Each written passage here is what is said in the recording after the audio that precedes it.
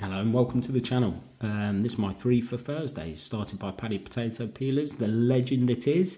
Uh, but also, this is a bit of a reply to a comment I had on a video recently from the Knife Raven. So he's a fellow YouTuber. Got um, his channel's. I've been a sort of subscriber to him years before I had this channel on my personal channel. Um, like similar knives to him. Um, the comment section on YouTube is absolutely brilliant. So I don't want to leave anybody out, um, but you all, I've really enjoyed get, like chatting to you all and getting to know you all. Um, I've had some really good comments. Um, really enjoy uh, getting back to you. Um, I, I, answer everybody. I don't answer everybody because I feel like I need to. I generally I get more from you guys than you get from me. I can assure you. Uh, there was somebody today, Ian, who sort of gave me a heads up. He had some dealings with Otter himself directly and gave me a heads up, so I really appreciate that. Um, there's a guy called Drew on there who's from the UK who buys from the same sort of place I do and he's got the same taste in knives. So he's a bit of my competitor out there, but uh, he's got really good taste in knives. Really enjoy sort of talking to him. He's got a sort of same perspective as me on knives. Um, and I'll probably miss loads of people out, but you know, it's just really good uh, having those comments um, from everybody and, and, chatting about knives. That's what it's all about, really. That's why I started this thing. So um, I appreciate them keeping coming.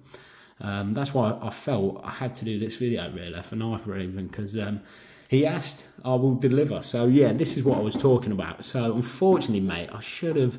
So, you said, "Oh yeah, get a weaver's knife," and I said, "Yeah, yeah, got one, mate, got one." Um, and I compared it to the English Tackler. So this is called a weaver's knife. It's swayback design with a Wharncliffe. The Wharncliffe is really stout, uh, carbon steel blade, as you can see. Uh, I cleaned it not that long ago, but it's coming back. But um, yeah, so this is not as a, a, tip, as you can tell, that's got a bit more of a tip on it. That's a bit more stouter. Now the Arthur Wright version of the Tackler, rosewood covers, and it got a similar blade shape to this, rather than the pointier Taylor's Eyewitness pokier one. So it would have been a, probably a better comparison, but I don't think I've got one of them. Well, I might have it. Uh, no, no, definitely. I don't think I've got one of them, mate. Um, but yeah, they are bang on more or less the same knife. This will cost you probably a bit more than the Arthur Wright's one. Um, but this this is a beautiful knife. I think they've done a really good job. Half stop. Um, so really, really nice knife. Right down the middle. Hafting's all beautiful. Um, a small gap in, but you know, it's a it's a good working knife that one. Uh, the one a bit crazy with the nail nick, it's massive, but this is a pinch open one as well. So really good, strong walk and talk. Um, yeah, beautiful knife. About forty pounds in the UK. I think if you go to Otter, about sixty euros or something like that. Um, and then, yeah, so staying with this sort of pattern, this is a Taylor's Eyewitness. Um, stainless steel blade, think it's there 420, I think, um, with the plastic covers. I wanted to try these plastic covers out because I've seen a video, I can't remember, they weren't like a main knife channel that anybody would know, but um, I just stumbled across it and it was a guy showing his dad's who was a farmer um, and he had this black so these been these black covers have been going for a while, uh, and this thing was it had it forever and a day. It really sort of ground down the blade, um, and um, but they're really sort of. Taylor's Eyewitness are doing like an endurance range now, which is like a budget.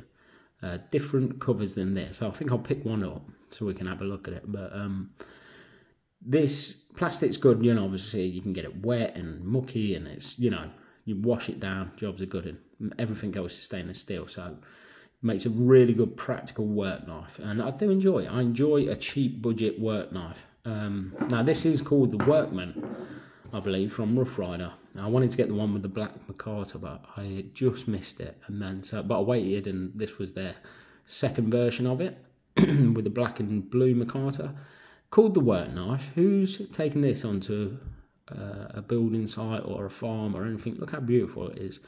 You got ring bolsters, you know, it's that swedging. It's oh, RR2181. Um, but yeah, it's too nice to get battered if you ask me. This is a Sunday best jobber. Nice walk and talk, half stop. Uh, yeah, beautiful, beautiful um, knife. Um, and I've got really good fit and finish one. The fit and finish on this one is spot on. That's centering. Um, but yeah, that's my three for Thursdays. I'll get them all out. The sway back, they've all got different names. Um, the weaver knife, the tackler, uh, just a sway back design with a Wharncliffe blade. Um,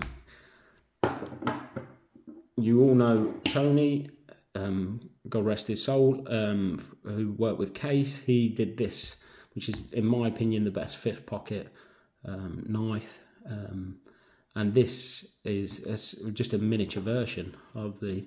Let's find one that's got a bit more of a pronounced sway back. So just a miniature version of this style knife. But yeah, I love this as well. So yeah, three for Thursdays, guys. Thanks for all your comments and support. While I've got you here, I, will uh, just wanted to uh, mention a few videos that might be coming out. See if it spot, you know, you like the sounds of them. Um, I've got Victorinox do a, a range called the uh, Swiss Spirit range. Um, they bring one out every year. They have done since 2019. Um, I wanted to showcase um, one of them. I don't know. Uh, yeah, probably do that. Um, there was a Rough Rider uh, open tag a while ago. Five of your best Rough Riders. It was ages ago, but you know now I've got a channel uh, and I like open tags. I want to just uh, sort of add to that, even though it's gone and finished already. I thought I can still have a go at that. Um, what else? I've got a t- uh, sorry, an Arthur Wright with some unusual covers, like a short run of them that are just uh, uh, not a special, it's just one of these where they had a short run. Um, so I'm going to do a video of that. Um, just a little. So I ran out of case paste and um, I couldn't get any, and some of the UK guys were going on about this on one of the lives, uh, something they use. So I thought, pick it up and give it a try. And yeah, it's good. I'd recommend this as well. So if you get stuck and you can't find your um, metal polish of your choice, try this. It's it, quite affordable and on Amazon. I want to show you this, guys, as well while I've got you here. So this was a Father's Day gift um, from my um, from my wife and my kids. But happy Father's Day. I wish they could subscribe. I need the subscribers, guys. Uh, but yeah, I thought that was a nice, a nice present. So she's been appreciating the channel. Um, says I've been uh, in a better mood, so it must be doing something good for me. Uh, but yeah, thanks, guys. Thanks for all the support. Thanks for the comments. Um, I'll see you on the next one. Cheers.